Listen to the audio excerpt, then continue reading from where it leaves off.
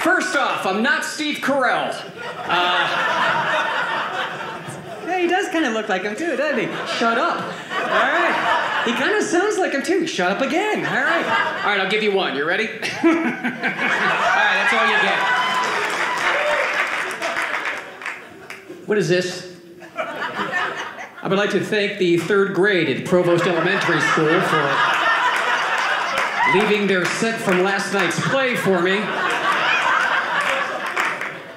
A door that goes to nowhere. Nice metaphor for my career. I, I, uh, been doing comedy 24 years. I've never missed one show. Not one. Oh, thank you. That means nothing. I, uh, never, however, had this show been last week, I might have had to cancel. Here's what happened. I woke up and I clearly had some crazy allergy to something. I was in no pain, but my face was like super swollen, like my eyes were sealed shut, my lips were really swollen and red.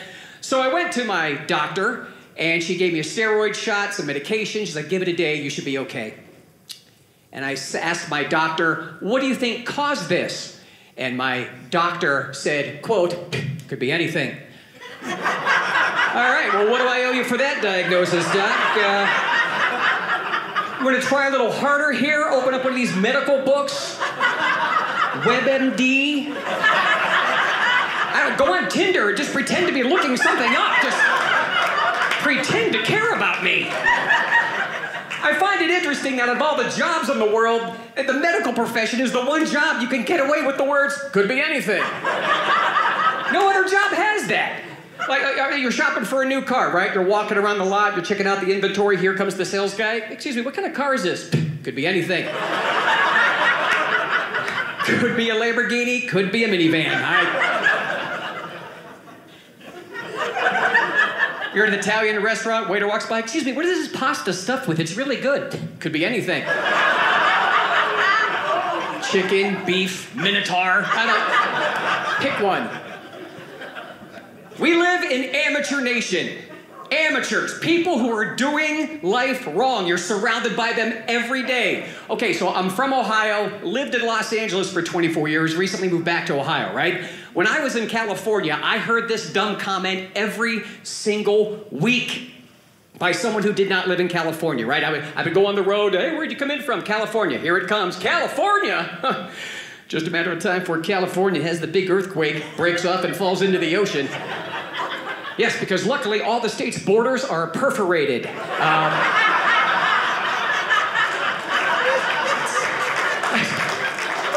and, and, and it's not a coupon. It doesn't just tear off exactly at Nevada. Like the people in Arizona are like, whoa, man, we almost fell into the ocean. Like I'm just gonna float away. Bye. It's like, come on, man, learn something about geometry. All right so glad you got that because I've done that joke. I yeah, really. I'm like, uh oh. Yeah. I mean, you, know, you guys are out of all the crowds I've had, you guys are the most recent. So thanks for coming out. I. Uh,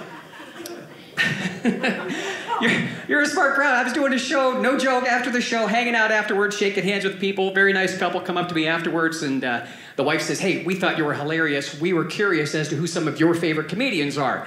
So I tell them, and then I ask them, well, who do you guys like? And I quote, she says, well, we like Dennis Miller, but some of his jokes are so smart, to understand him, you practically need a thorax. All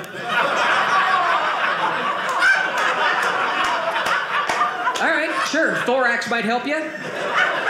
Maybe some antenna.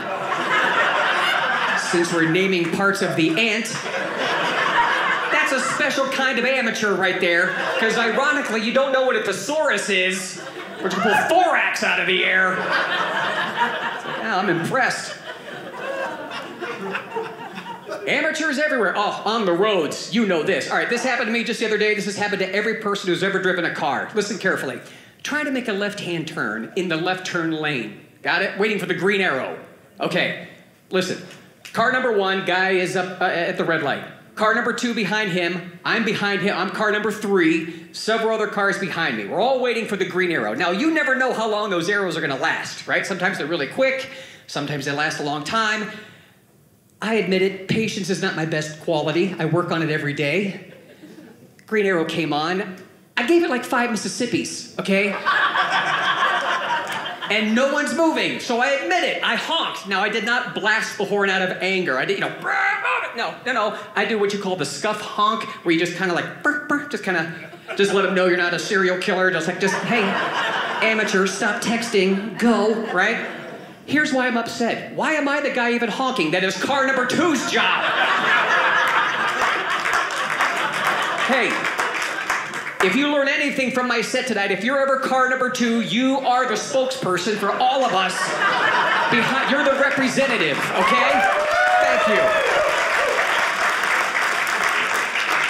Then it gets worse because car number two flips me off and then honks backwards at me. No, no, no, no, no. You can't, you can't honk. Like, there you go. You can't. I can't bank one off the wall and hit that guy over there. That is honking 101. Honks go this way. You amateur.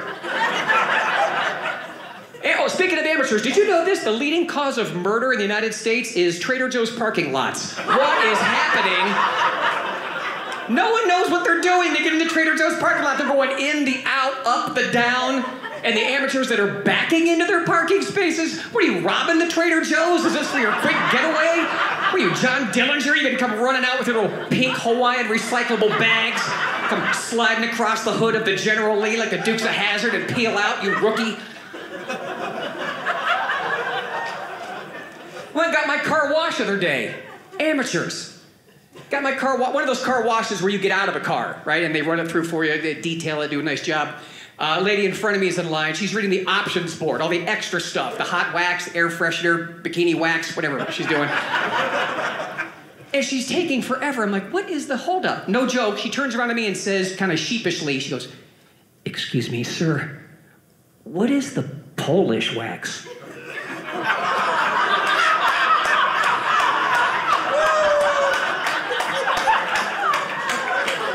Like, uh, yeah, that'd be polish wax, ma'am. Uh, and how did you find the car wash? Is what I want to know. Actually, let's take this back a step. How is it that you can drive a car? Let's start with that. I wanted to tell her, oh, the Polish wax, what that is, a bunch of guys come out with accordions. And they rub your car down with a kielbasa.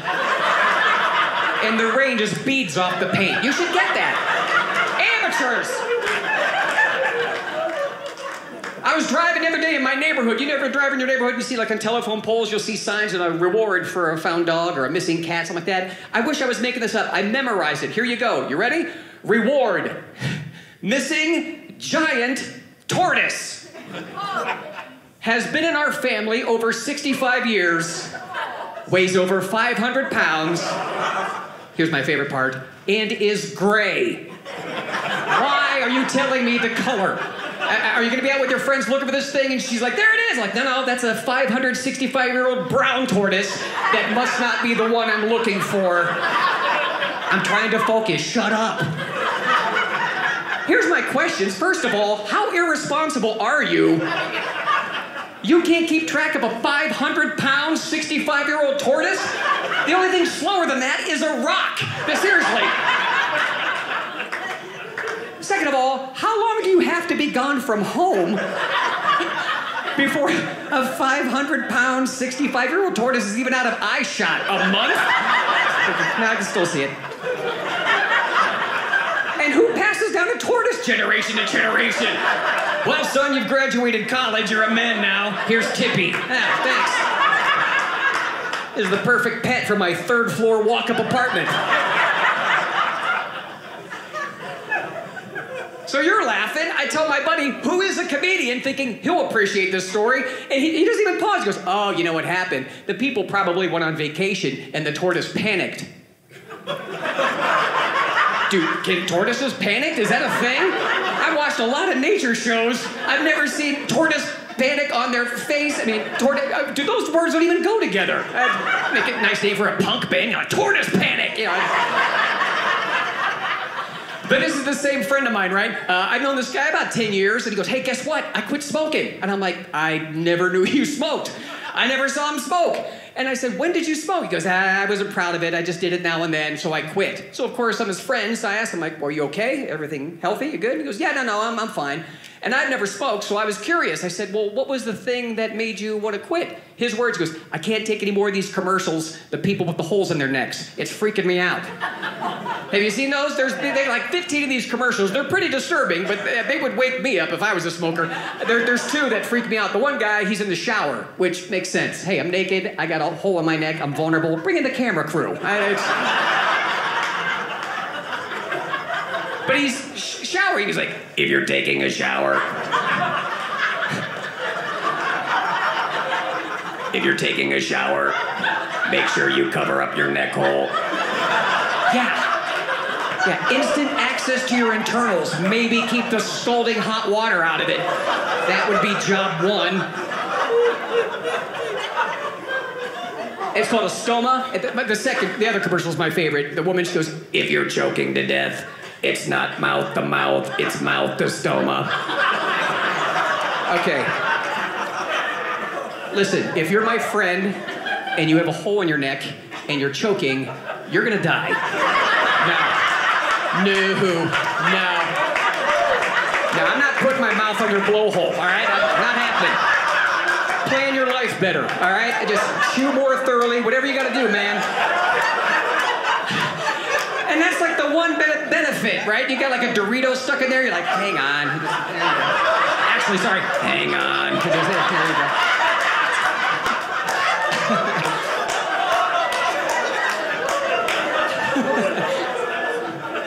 There's like 20 of those commercials. Like for auditions for that? You get like 20 people in the waiting room? I really hope I book this. This could be my big break. How long have you been waiting? I mean, if you can't book this, that's on you. It says right on the breakdown, must have a legit hole in your neck. That's the job you've been waiting for. Agent calls you, you booked it, woohoo! Sorry, woohoo. Sorry. I was worried there'd be some guy out in the audience. Hey man, that's not funny. I'm gonna beat you up after the show. You'll see me outside the theater. I'll be like this, like, all right, let's go. I win. All right.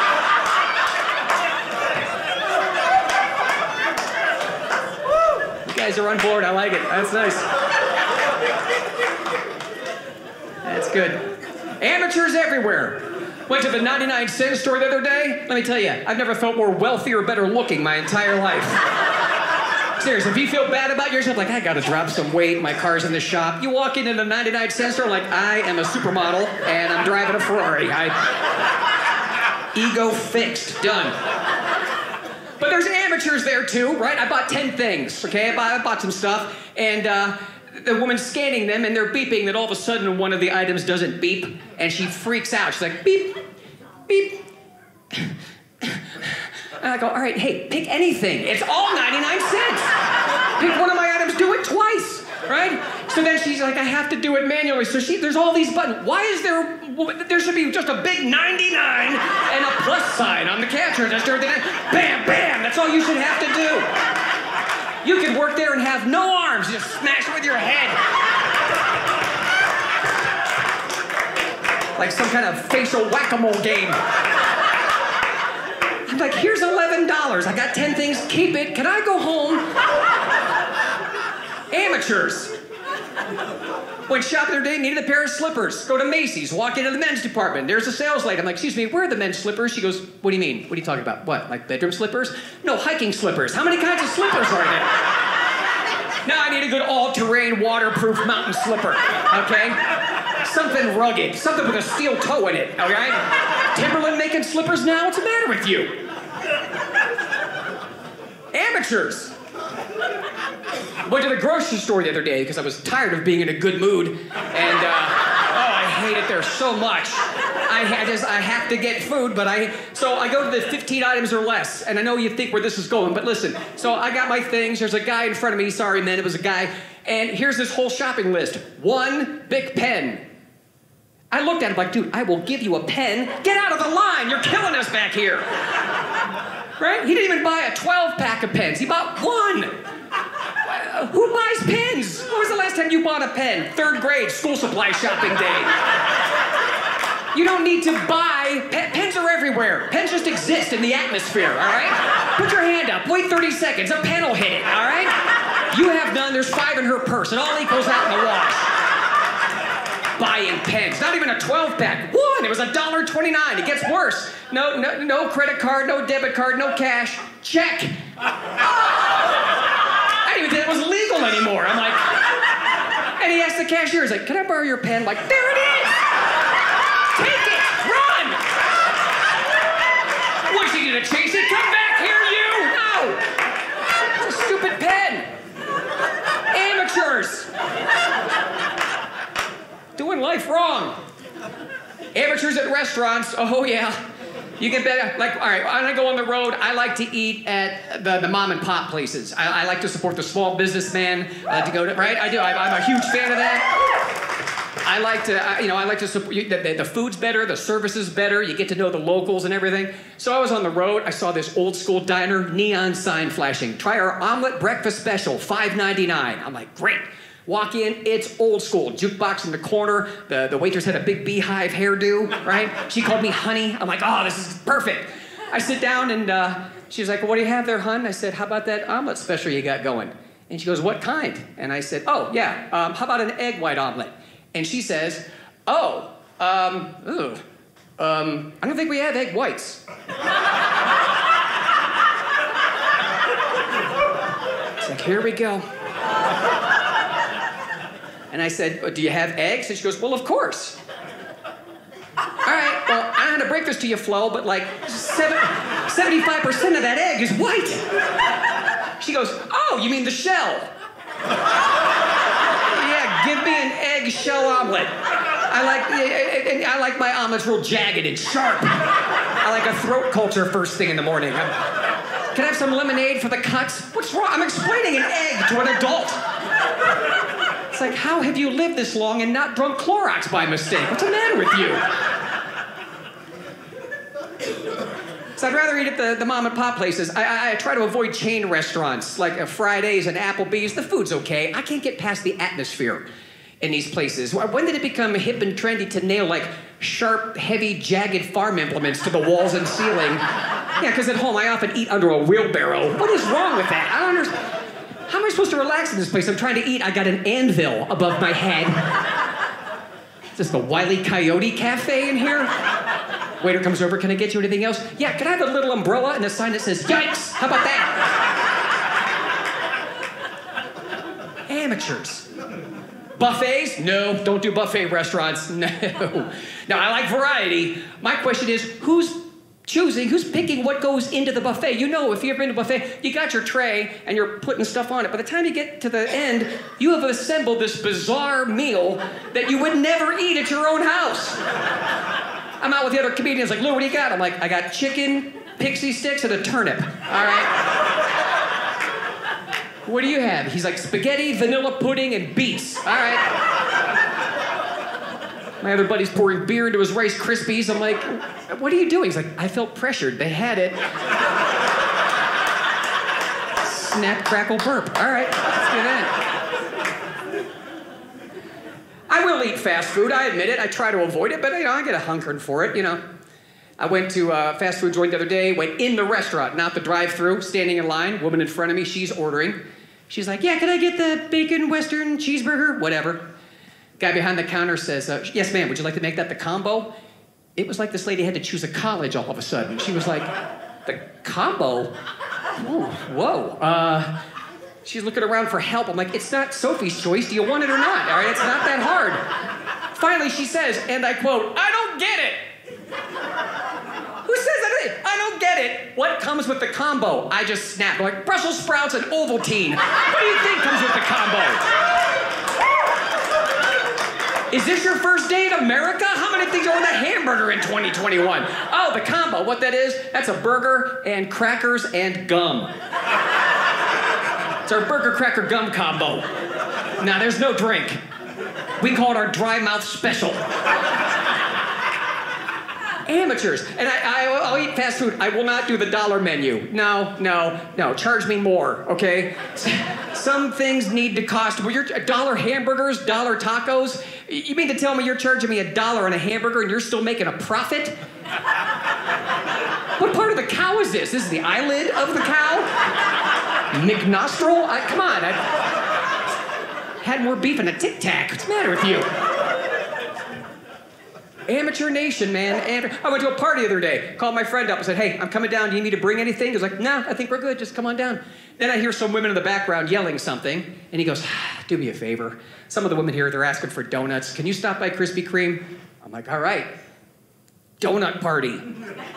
Let's get bloated. I'm like, "All right." But they want it, I'll go get it. So I go to Krispy. It's like 8:45 at night. Okay, I'm the last customer of the day. I'm the only person there. It's just me and Mrs. Cream. I don't know what her name is. and I'm polite. I go, yeah, can I get two dozen glazed? She goes, is that for here or to go?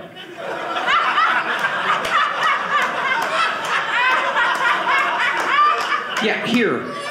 And uh, do you sell insulin too? Uh, where can I plug in my defibrillator? Because I'm gonna eat 24 donuts now. Here's my cell phone. Dial 911 and just kind of hover over the send button, all right? Keep an eye on me. Amateurs. Oh, you can bet there's amateurs in the dating world. Oh, yeah. Oh yeah, I, am a comedian, all right. I, oh, and I go out with women. I like chatty women. I, I, I, like, I love good back and forth, good banter, good conversation. I don't want to be the guy always keeping the conversation going. But be careful what you wish for, because the last woman I went out with, wow, she could talk. She could talk. And we went out to dinner. I'm driving her home, and I remember thinking to myself, I don't think I've said anything since I ordered my food. It was over two hours ago. And that was to the waiter. So she sees the look on my face and she's mortified. She's like, I am so sorry. I'm sorry. I'm doing it again. I'm sorry. I'm talking too much. I'm sorry. I'm still talking. Am I talking now? I'm like, I'm, I'm like, relax, okay? It's our first date. All right, first date jitters, a little bit nervous. I'm way out of your league. Calm down. I, uh, no, I did not say that. I did, I, did, I did not say that. But thank you, sir. I just want to say what an honor and a privilege it is for you to be here tonight. All right, no, just. So this is why the married people need to stay married. Here's what's out there. She goes, Do you want to hear something really weird? Like, do I ever? On our first date, you mutant, but go ahead. Her words, I honestly believe that as long as I keep talking, I cannot die.